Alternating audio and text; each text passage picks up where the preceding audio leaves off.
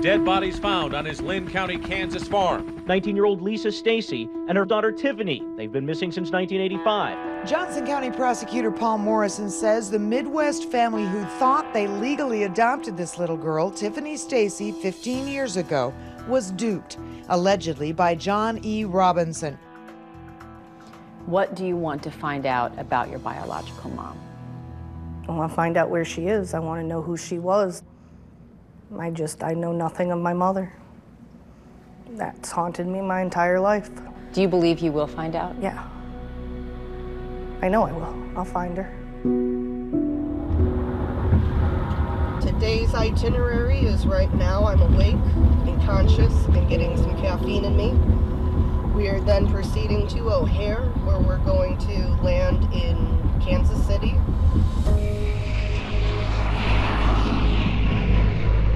First step on Heather's journey was going back to where this story began Kansas City where her mother was born, where her mother was killed, and where a lot of these answers hopefully were for her. I really hope that we can find at least the location of Lisa, where he put her. At least, I think, for Heather to be able to say goodbye. Thanks again for flying with us. Hope you enjoy your stay in Kansas City.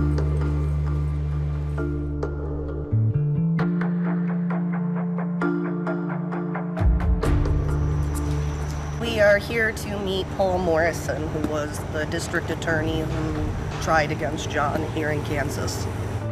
Hey, it's very nice to meet you finally. Very nice to meet you. Do you think, in your experience, I'll find where she is if I keep pursuing Maybe. it?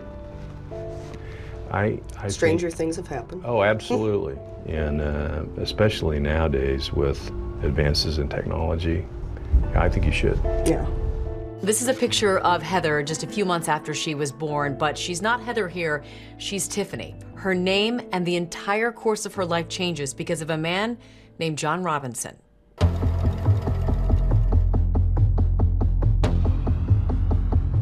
John Robinson was a very interesting man, originally from Chicago area. John Robinson was born in 1943 in Cicero, Illinois, and grew up in a somewhat working class neighborhood there. From everything we know about John Robinson's youth, it was ordinary. He was an Eagle Scout, he loved animals, and uh, got along great with everybody. In fact, uh, when he was a young man, made a trip to England where he sang for the Queen of England. A command performance for Queen Elizabeth at the Palladium in London when he was about 13. Backstage at the Palladium, he ran into Judy Garland. She kissed him on the cheek, and this made a big story in the Chicago papers. In 1964, he was 21 years old, and he met a woman named Nancy Jo Lynch, and they would be married for decades and decades. He got a job at a Chicago hospital being an x-ray technician. But instead of doing a lot of x-rays, he started, you know, having affairs and stealing money from the hospital. John Robinson got a, a job in the late 60s, I believe, with a Dr. Graham, who happened to be Harry Truman's personal physician. He uh, was a very good people person, smiled a lot, uh, gave an excellent first impression but um, he had another side to him as well. It was found out that he had embezzled $25,000 from Dr. Graham. But uh, we weren't the only ones. He went on to have many, many years of embezzlement and other white-collar crimes. He had this long, long career as this con man. If there was a way to con somebody, Johnny Robinson had already thought it through. He's always doing a con.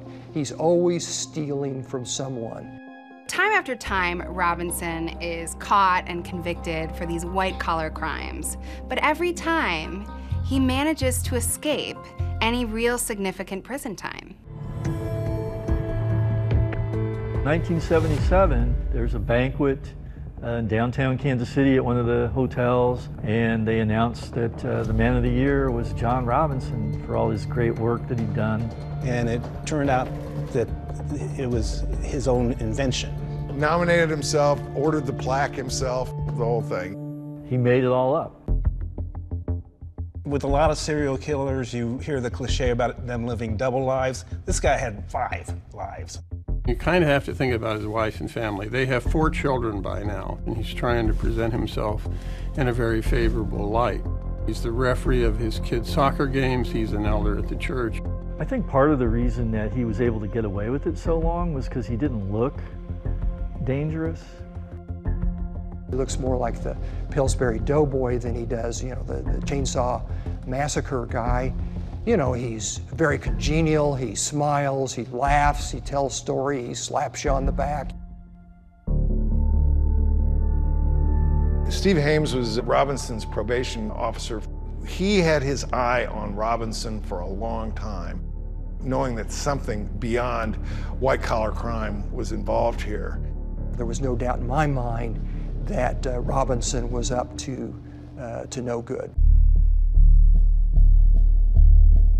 Open an Olathe North High School yearbook from the early 1980s. You'll see a dark haired girl with a very bright future. It gets to be 1984. He hires Paula Godfrey. Paula answered an ad in the newspaper for a job. That's where she met Robinson. And she disappears. Her father confronted John Robinson, who totally said, I don't, I don't know what you're talking about. All of a sudden, these letters started appearing, signed by his daughter, saying, Oh, I'm okay, you know, I'm fine, I just, you know, don't need to worry about me. You're a parent or a sibling and you've lost contact, and then out of the blue you get a letter from them. Probably made you feel good, at least initially, that, well, thank you know, they're okay. But then on closer examination, they'd, they'd often say, well, this doesn't sound like her. John Robinson was a very good predator. He chose his victims well. They were looking for some way out of their poverty and their problems. John Robinson gave it to them. Hugger?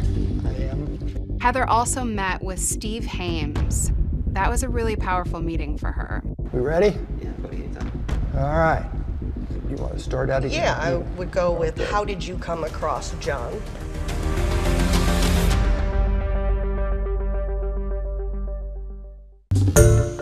Hi everyone, George Stephanopoulos here. Thanks for checking out the ABC News YouTube channel. If you'd like to get more videos, show highlights, and watch live event coverage, click on the right over here to subscribe to our channel and don't forget to download the ABC News app for breaking news alerts. Thanks for watching.